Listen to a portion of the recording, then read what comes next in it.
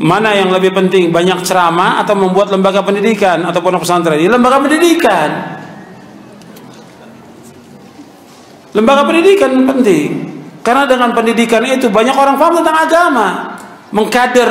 Sedangkan ceramah, antum 10 tahun ceramah nggak menjadikan orang itu menjadi dai, menjadi kader enggak.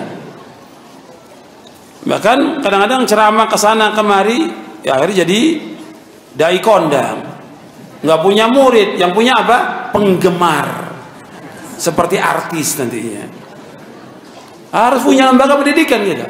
Punya pondok harus punya lembaga pendidikan. Kita punya masjid sendiri yang kita mendakwakan dari awal kitab. Bermula kitab tauhid selesai kaji lagi.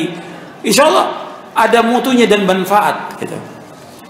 Jadi kalau seperti tablik akbar seperti ini kita mengkaji kitab. Supaya antum nanti baca lagi kitab itu pelajari lagi. Nanti ada guru lain yang menjelaskan dari awal sampai akhir. Butuh waktu memang. Tapi ini sebagai pembuka. Pembuka supaya orang-orang awam yang nggak paham juga paham tentang agama ini.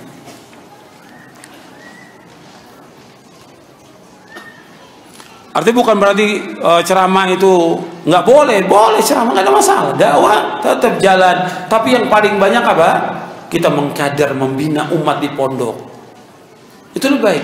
Sekali kita ceramah keluar nggak ada masalah.